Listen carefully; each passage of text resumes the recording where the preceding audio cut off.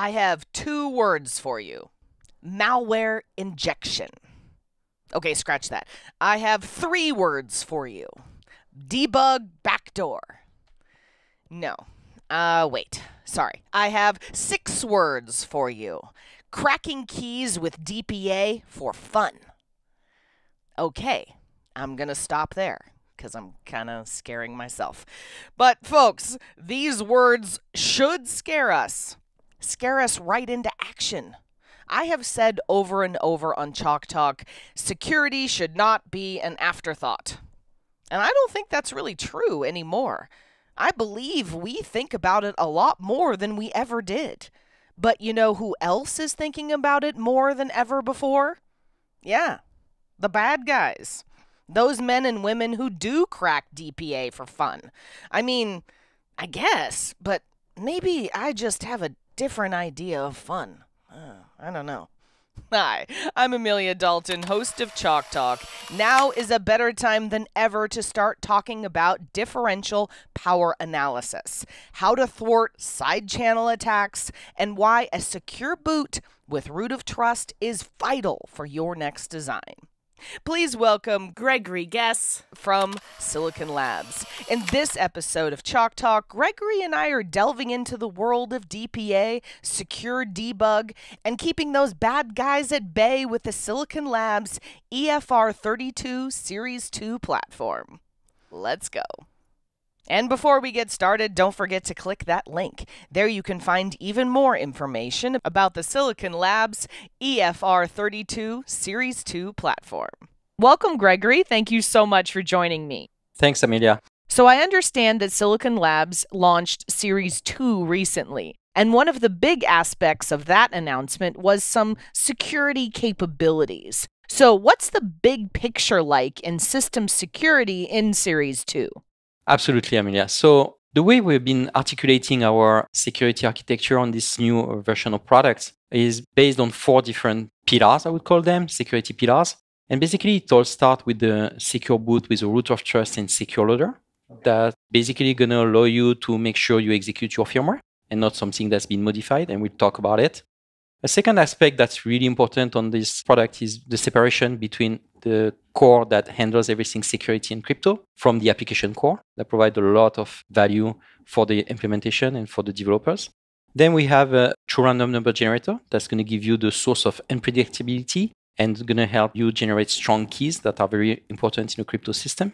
And finally, I like to talk about some kind of new features related to secure debug. And our interface in terms of secure debug is with lock and then unlock pretty innovative functionality I would like to talk about. Okay, let's dive into some details on this true random number generator. Are the random numbers I've been generating fake? And how do I get true ones? What's the deal with that? So in every crypto system, you're going to need some an element of randomness. It's going to be used either to generate keys or it's going to be used to defeat some attacks by generating some unpredictability into the system. And this need for random number has been there forever. So it all started with, uh, I would say, algorithm on computers, where people would develop some uh, algorithm to create randomness.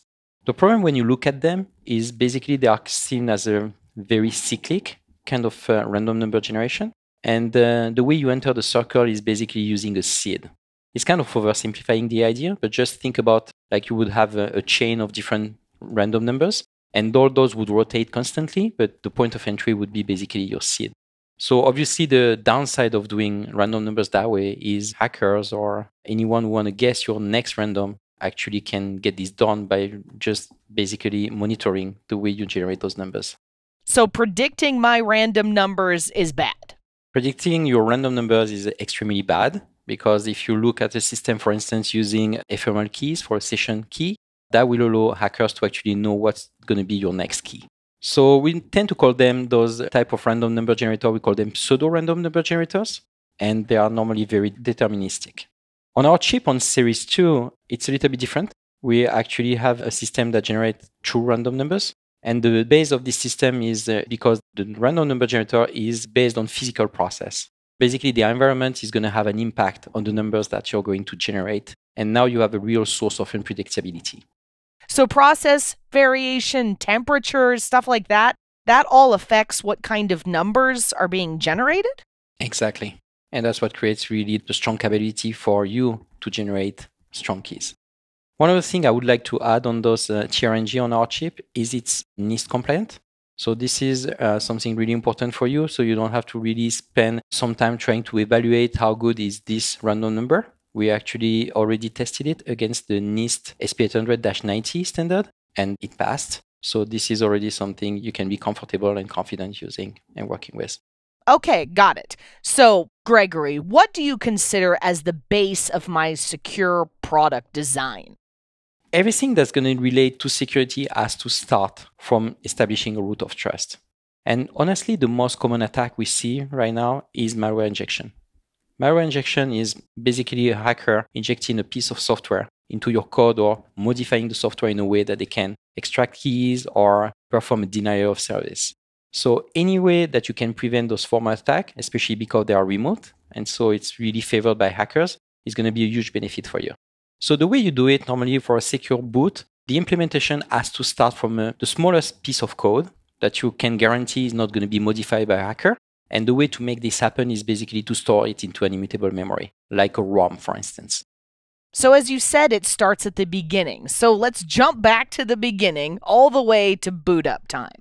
Yeah, so what's going to happen on those Series 2 products is basically the firmware is going to start executing a ROM. And as you can see on this uh, diagram here, you have basically two different cores. I mentioned about that earlier. You have the secure element core, that's basically the part going to handle everything crypto and uh, everything security. And you have the application core, which is a Cortex M33. That's basically you're going to program. So when you start from the ROM, the first thing the ROM is going to check is basically the signature of the code executed by the secure element. So because the ROM cannot be modified, we know that this code can be trusted. And by checking the signature through an asymmetric crypto function, we can guarantee that the code is genuine and that's the right code to be executed.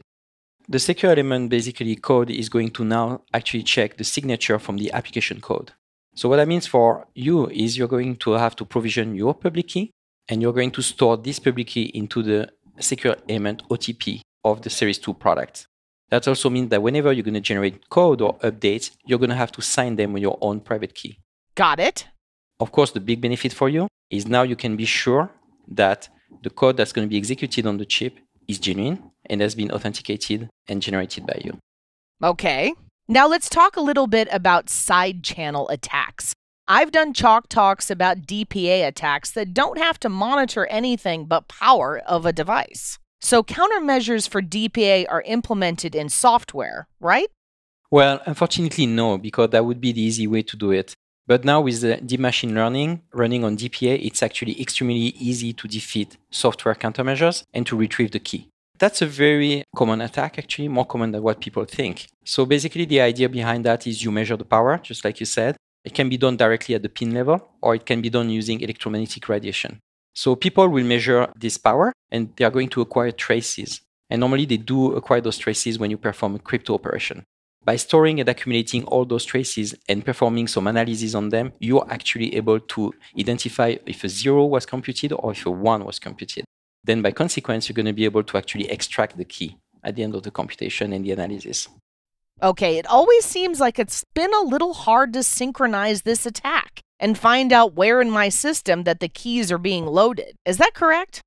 That's correct. So one of the biggest challenge when you're going to run a DPA attacks, DPA analysis on a chip is going to be able to synchronize exactly the timing that when a crypto operation is actually being performed by this chip. So we've seen now new kind of attacks where people are using actually deep machine learning.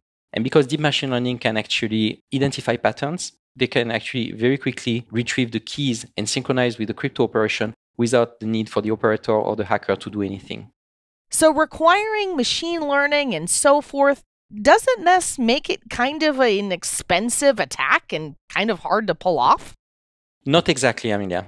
It's true that 10 years ago, 20 years ago, when all this started, those kind of attacks, it was kind of expensive. I mean, back in 2009, you would have probably need like uh, three PhD guys and something between half a million dollar to a million dollar to do those kind of attacks. DPA tools now are extremely commoditized, and you can actually source on the internet kits that cost something like $200, and it becomes extremely easy for anybody to run those attacks and retrieve your keys. Wow, okay. So, with it being cheap, do we have people just cracking keys for fun? In my opinion, that's actually one of the biggest problems of the DPA attacks right now because it's so low touch and it's so accessible to a lot of people. Some hobbyists on the weekend would just run basically DPA attacks on products just to crack the system, retrieve the keys, and post their findings on the internet. When you use our DPA countermeasures on the chip, they are hardware, so they are very transparent for you. You just call the function like you would call a normal API. You don't have to specify that DPA needs to be activated. They are hardware, they're already there. Also, our DPA countermeasures are evaluated by our labs we have here at Silicon Labs internally, and also by third party who conduct assessment on our product. Got it. Okay, talking about another aspect, we all have to debug our designs. But it seems like a lot of times the debug interface ends up also being a backdoor for hackers. Is there a protection against that? So, obviously, the debug interface is an open door for hackers. Hackers can just use the debug to load code or dump your code or inject malware, whatever they want to do. So, um, the rule of thumb for insecurity is obviously you want to lock that port. And that's something that's becoming very common in microcontrollers. So most of the companies and products will have a capability to lock their interface. So the hackers cannot use it to hack into the system. So the problem comes when you want to conduct a failure analysis on the chip. If you have a problem in the field and now you want to reopen that interface and look what happened, it becomes extremely complex. And normally what the industry does is you're going to send a command to this debug interface. And the first thing the chip is going to do is basically erase the memories. And once the memories are all erased, the debug port will be reopened, and now you can start conducting your analysis. So if my data is erased, it seems like that takes away a lot of the things I need to debug. So how do we handle that? Exactly, I mean, that's uh, actually one of the major concern for customers, and that's a major concern for test engineer when they want to conduct failure analysis. So what we've done on those Series 2 products, you have basically the capability to provision into the chip a public key from the customer and the customer will generate their corresponding private key. Whenever you will want to reopen the debug interface, the chip will send a challenge to the customer, and the customer will sign this challenge, creating a crypto token. Okay.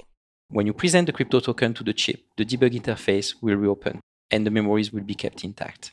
So now, obviously, you are opening a new world for test engineer, application engineer, or even customer whenever they want to use into a failure, eh, they want to look into a failure analysis and what happened in the field when something happened and they can collect all the data they want. Great, I'm feeling safer already, and I can still debug my design in the field. These are all good things. Okay, so let's kind of wrap up some of what we've talked about here. On Series 2 from Silicon Labs, you're going to find four security pillars. The secure boot with RTSL. It's going to guarantee you have a trusted firmware execution, and it's going to shield you basically from remote attacks. You have a DKT secure core so the application core and the crypto engine are going to be isolated from each other and communicating only through a mailbox. Everything crypto is going to be protected against DPA attacks using hardware countermeasures.